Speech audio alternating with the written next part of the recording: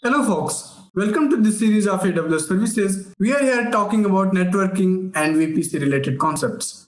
In the last video, we talked about VPC peering, where we had two VPCs and we connected them both by using peering connection. Now here in this video, we are going to talk about VPN connections. Now VPN connections are used when you have to connect your customer data center or you can call it on-premise data center to the cloud. So whenever you have to connect your VPC which is situated on the AWS cloud and you have to connect to your data center which is there in on-premises, you would need VPN connection. So VPN connection supports IPsec protocol, which means any communication between your data center and VPC passes through these IPsec tunnels, which makes it very secure.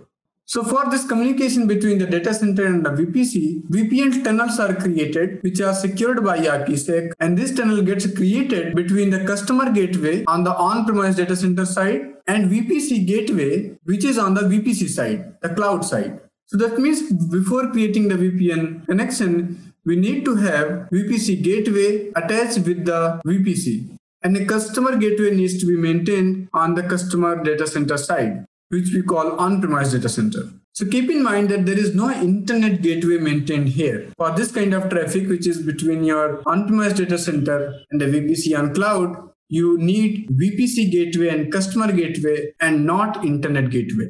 You can see that by using VPN connections, it looks like you are just extending your on-premise data center to the cloud. The VPC would become more integrated with your on-premise data center and any communication between the VPN and the VPC would be more like a private traffic.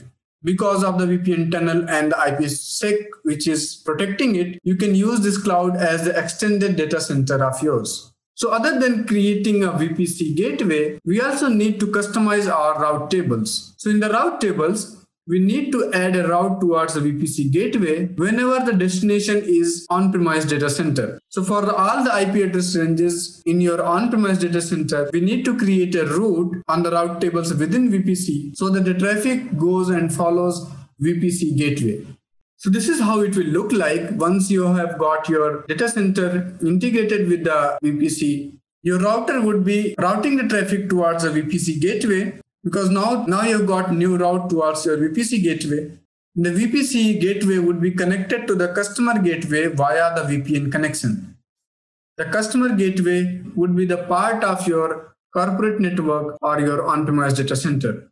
So even, even if you've got private subnets on your VPC, they can be directly connected to your corporate network or your corporate data center using VPC gateway, VPN connection, and the customer gateway.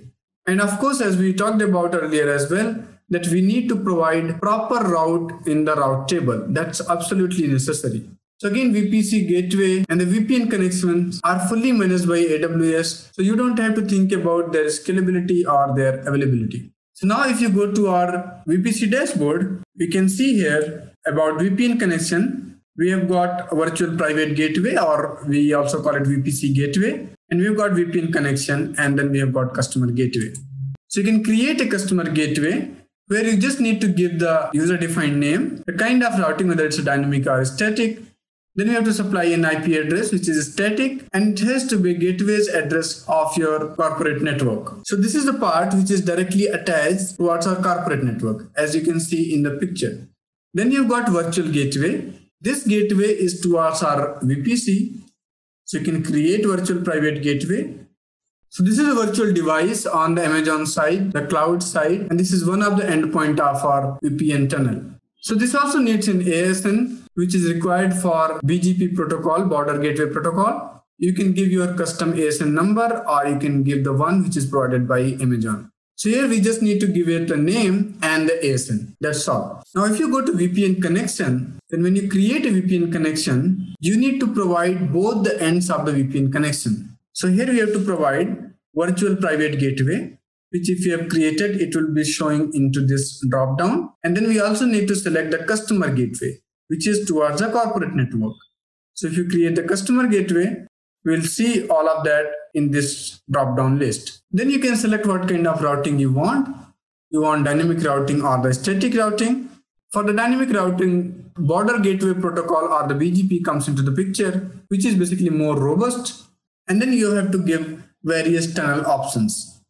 This is about the VPN tunnel that gets created between the VPC gateway and the customer gateway. So between your VPC and your corporate network. So ultimately, this will create an architecture that will look something like this.